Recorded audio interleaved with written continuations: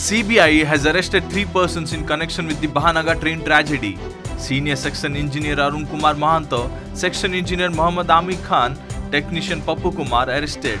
All three have been accused of culpable homicide and concealing evidence. Doubts mounting over DN Homes financial dealings. Investigation underway to find out the source of Rs 30 crore cash seized. Questions raised. Why is ORERA silent even after real estate business worth Rs 105 crore has come under IT scanner?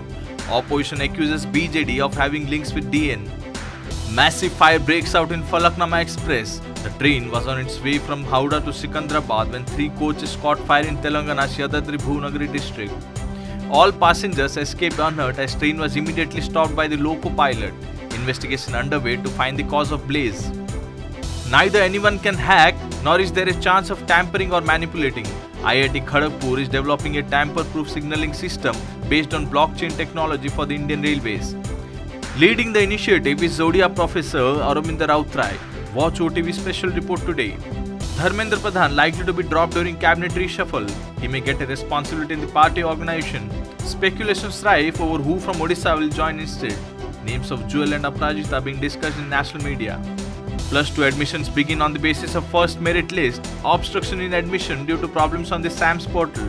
On the other hand, breaking the previous trend, career is being preferred by students. Even after scoring above 95%, some students are preferring arts. For whom is the 16 crore worth building made? Administration suddenly shifts 45 people staying in Nirasaya Bhavan in Sambalpur's Bijamunda. Inmates are in a pitiable condition in rented houses. District Social Welfare Department responds schools for differently abled children to be opened in new building. And consensual sex in case of breach of marital promise is not rape, ruled the Odisha High Court. In such cases, rape allegations will no longer be accepted.